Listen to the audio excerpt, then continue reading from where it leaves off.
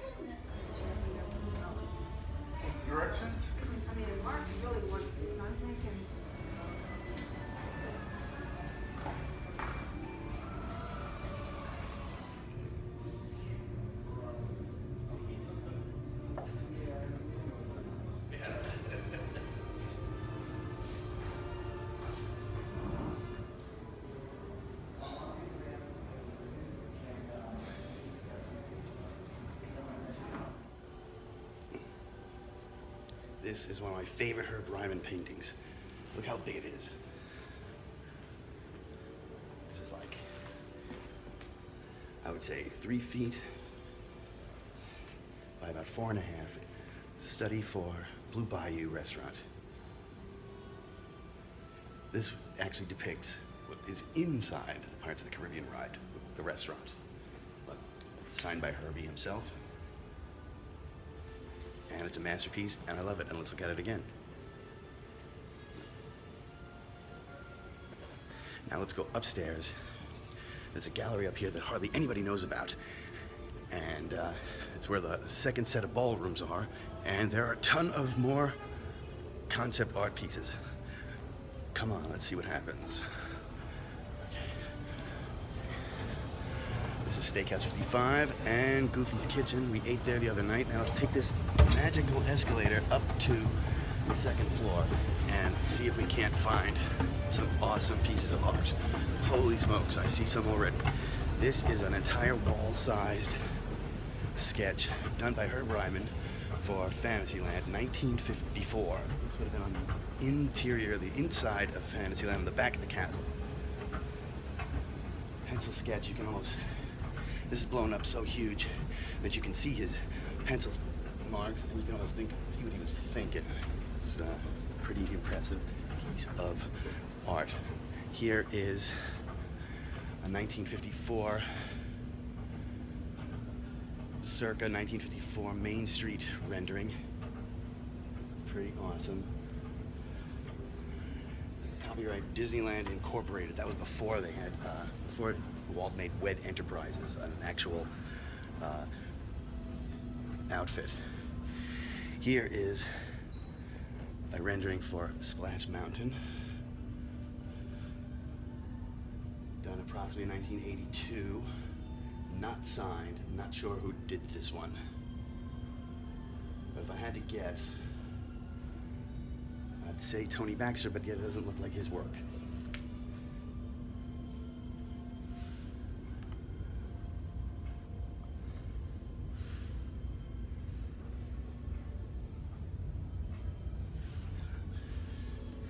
This flag says Splash here. Michael Eisner had them change the name from Zip-A-Dee River Run to Splash Mountain because the Splash movie was out. The Imagineers weren't into that decision, but that drawing kind of reflects that it came after that. Here is a Ken Anderson study for the facade of Snow White. in Fantasyland 1954. Next to it, Ken Anderson, Peter Pan's Flight Facade Study. Done probably at the same time. Let's get a detail. Let's get a close-up detail like this. Pretty cool. Pretty cool. Let's get a detail of the Snow White one too. There's a lot of work here. No, you know who this looks like? Nothing any close. This looks like an Eyvind Earle. Eyvind Earle. This is his style, isn't it? You notice the similarity to the backgrounds in Sleeping Beauty. Look at these details.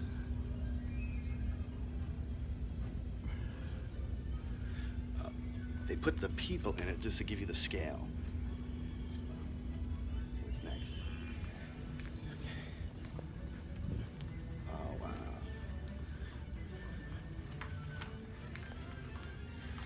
Okay. Here we have Tony Baxter, Big Thunder Mountain rendering. Only back then it was called Thunder Mesa. Before it became Thunder Mountain, Thunder Mesa included a plethora of attractions, including the Big Thunder Mountain Railroad. And I'm going to show you some of the details here. Wow.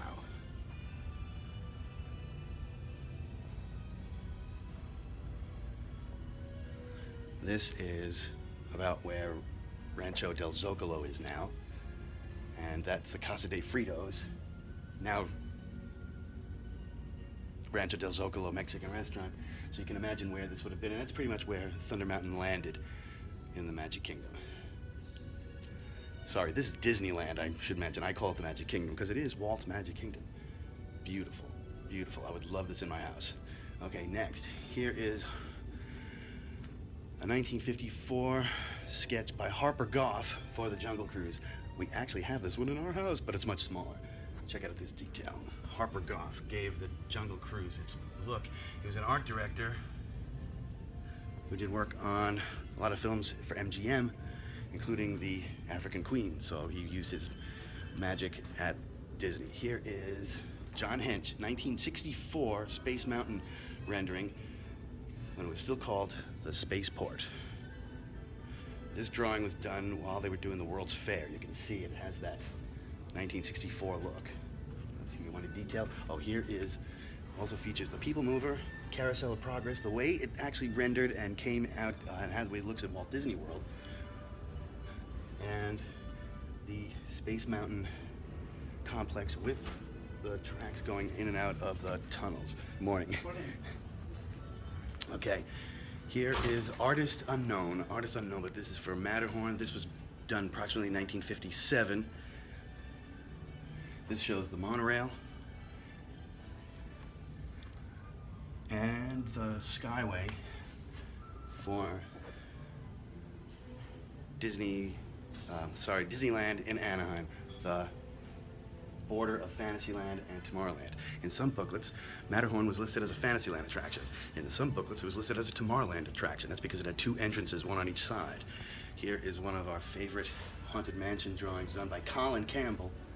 Walt was not into the dilapidated Haunted Mansion. He wanted to look pristine on the outside, so this, we went with this look, but we've cleaned up the exterior so it looks like a so it looks doesn't look so lived in. We let the ghosts take care of the inside. Okay. Wow, look at this. Polynesian Gardens. Looks like the Enchanted Tiki Room, Tahitian Terrace, and at the time, Polynesian Garden. Loving the stamp. I love the matting. And check out some of the detail. There's the Tahitian Terrace with the girls. And this was the tree that Walt came in and said, I can't see the show, raise the trunk up a little higher. That's the way he was, a perfectionist.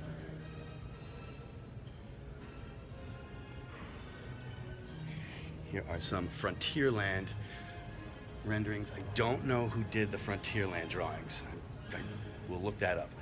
But here we have the entrance to Frontierland and inside the entrance.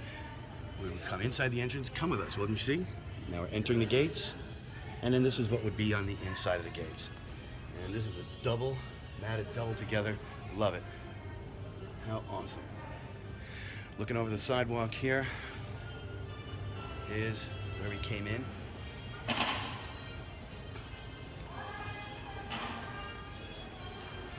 A 1967 Autopia car, which Bob Gurr corrected me once when I met him. He said, no, it was actually a 1968. I think what he was referring to is the fact that they were copying the 1968 Corvette Stingray look, but they debuted it in 67, right here at Disneyland in Anaheim, California. Here is a huge painting Artist unknown. I don't know who did this, but this was the mighty microscope from the Adventure Through Inner Space, which is no longer in Tomorrowland.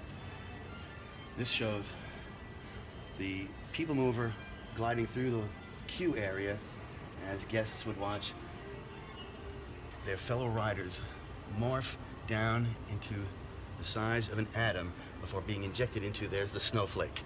Look at this. This has to be this has to be 50, 60 inches wide and about 28 to 32 inches tall. I mean, this is just a massive piece. And these were designed so when they pitched them to sponsors, the sponsors could come in and get a good idea what they were going to look like. Okay, here's one for Indiana Jones. I don't know who did this, but look where I am. According to this, I am six miles high. This is the probably the biggest one we've seen thus far. This shows the guests getting on the queue, seeing the construction site, the, the archaeological site, and meanwhile in the background here is a jungle cruise boat to give you the idea of how close the jungle cruise would have been to this. I'm going to step back because it's massive. My arm's getting tired. I'm going to switch hands. Okay. We're almost done. Thanks for hanging in there. Oh, Fantasyland now I gotta switch hands again. Skull Rock, Fantasyland. Before, I don't see, oh, the Chicken of the Sea Pirate Ship Restaurant. If you would stand on the, if you were standing on the deck of the pirate ship and looking out onto Fantasyland, this is what you saw. This is the entrance to the Chicken of the Sea. Whoops, I'm shaking because my hand's getting tired. Enter the, go up the gangway. Now we're on the ship looking out, and you can see some of the ship riggings. I'm gonna back up so you see the whole thing. And my favorite element of Fantasyland that's no longer there. Skull Rock with the waterfalls, and look beyond it, Monstro from Storybook Land, and there's the ticket booth that still remains. Let's get a close up of this.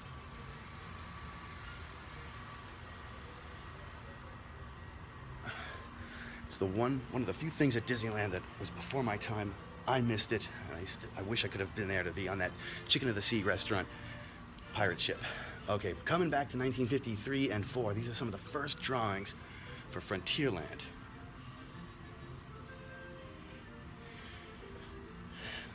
Here we have shrimp, fish and chips, smoked fish.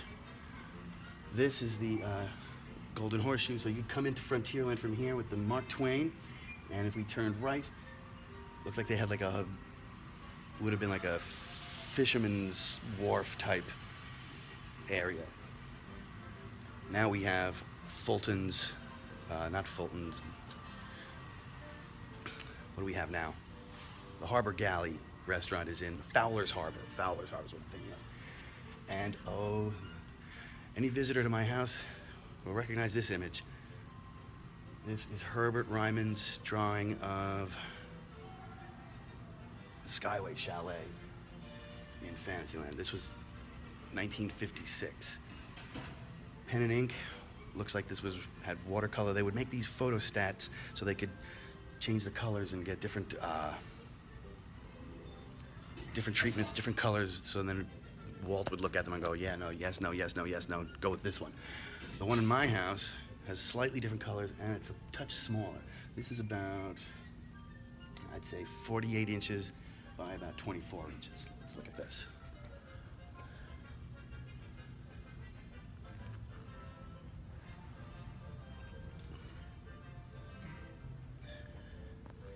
This looks like it would be the Matterhorn, but it's not. This was Holiday Mountain. Matterhorn wasn't conceived of until about 1957, but this hill was at the park. If you imagine to looking up Main Street, to the right of the castle was this, uh, they called it Holiday Hill. You can also tell a Herb Ryman, besides from his fabulous artwork, Herbie would write on the top exactly what you were looking at. Thanks, Herb. And I'm gonna finish up over here with this. This is kind of like when we came in. This is a Fantasyland rendering for Merlin's Magic Shop, which is if you walk through the tunnel of the castle, or walk through the castle into Fantasyland and then turned left, this is what you would see. Merlin's Magic Shop wound up there, but this looked slightly different. But this was just to give you a, idea. This is one of the first drawings. 1954, Disneyland only existed on paper. So to get any kind of an idea of what the park was going to look like, Herb Ryman was challenged with hanging out with Walt and interpreting his ideas verbally onto the paper. This is a huge painting of Sleeping Beauty Castle. The idea was to uh, give an idea of what the Christmas lighting treatments would be, as noted by the Christmas trees, and there are wreaths on the turrets. Here is, look at this. Look at this. I will just shut up and I will leave the drawing to explain. Drawing?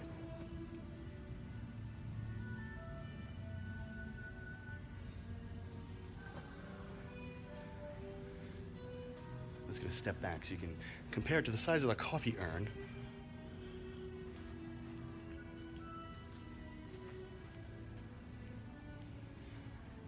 One final look at this. I love this. I gotta find out who drew this. Oh, you can see this is the um, the patchwork herb garden that you'd see in uh, Storybook Land. Tremendous. A lot of detail here because they wanted you to be able to see where the new attraction would fit in with the old attractions. Okay? I'm about done here. People are looking at me funny, so if I look at you and say, okay, I'll see you in a few minutes, that's what happened. Today is my second full day here at Disneyland in Anaheim, California. We're hanging out with my pal and yours, Wayne Toigo, and of course, you know, Stacy. Oh, look at this, I gotta take one last look. Lovely, I love it. And oh, anything with Adventureland and Tiki is my other favorite. Look. Wow. So, and this is such a rarely seen image. I have to take another shot of this. Matterhorn. Haunted Mansion. Just a lot of great artwork. It's like a museum up here.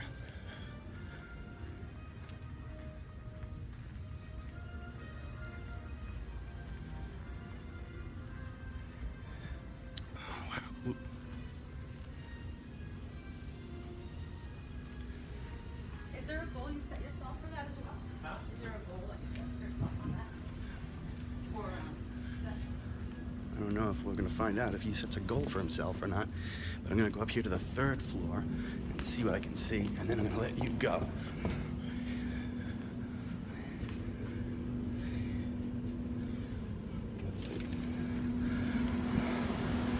Okay, I'm now on the roof. Yeah, I've gotta go soon. We're now on the roof of the Disneyland Hotel parking lot. Actually, we're on the roof of the convention center. They're getting ready. It's starting to wake up down there. I want you to know that I am really happy that you guys are joining us on this trip to Disneyland, Walt Disney's Disneyland in Anaheim, California. Right now, this is what you call the June gloom. It's going to be a beautiful day, but right now it's overcast, and you might be saying, "You better get out of there, Jeff. It's going to start to rain." No, I'm not afraid. I just want you to see this, and we're going to leave it like this. Just beyond that pagoda, Paradise Pier Hotel, the Frontier Tower, the Adventureland Tower, sorry, the Adventure Tower. My friend and yours, Wayne Toy, is in there right now. I'm gonna toss a pebble up there to his window to wake him up so we can come down for some coffee. This is the Fantasy Tower. This is where you check in, and it's the main building. And that, my friends, is the path out the hat, past the hat, go under the hat, and you will find yourself in downtown Disney and points beyond Disney California Adventure, which is where we're going today. Uh, Walt Disney's original Magic Kingdom, Disneyland, in Anaheim, California. Lots of good stuff today. Big doings. We're only getting started. thanks for subscribing. Thanks for sharing. Thanks for telling your friends. Thanks for all the comments you leave below that are so encouraging. I know I feel like a lunatic walking around with a camera in my face. People looking at me funny, but I'm doing it for you so you can live vicariously through us here in Disneyland at Anaheim, California. All right? I want to thank you for joining us. Please stay tuned. I love you. I hope you're like me.